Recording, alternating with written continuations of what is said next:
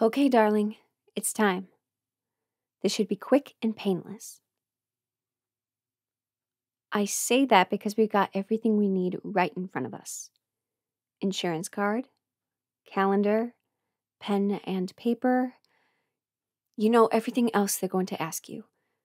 Just trust yourself.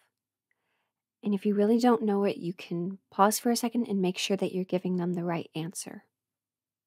They'll understand.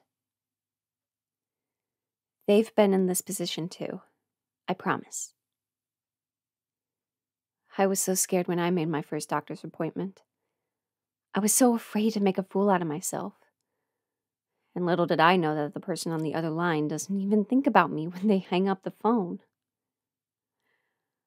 Well, because I wasn't rude to them. That's why. And that's a good thing. You're doing the right thing.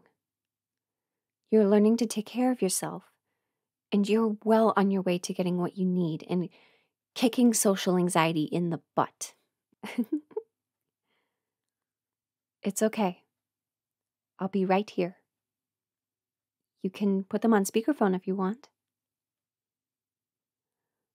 Or more than likely, they'll ask you for your name, your date of birth, your phone number, which doctor you want to see and why you want to see them. Um, you don't have to give them a full explanation, just something general, like you want to go in for a physical or for a checkup. And maybe what location you want to go to. Well, some doctors travel between offices. And what time works best for you? Or what day of the week? Then we'll go from there. Now, What's the first thing you say? Hi, I'd like to schedule an appointment. Great start! You sound like you've done this before. Oh, everything's okay. Just keep breathing. I know it's hard to process what they're saying, especially since they're not right in front of you. You can think before you speak. You don't have to rush with them. Plus, if you go slow, that means that they'll have to talk to less people, and they'll appreciate that. yes. Sometimes it's true.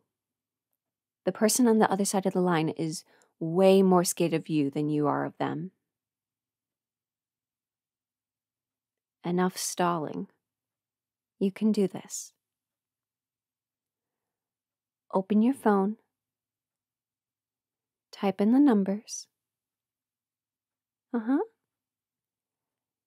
Here we go.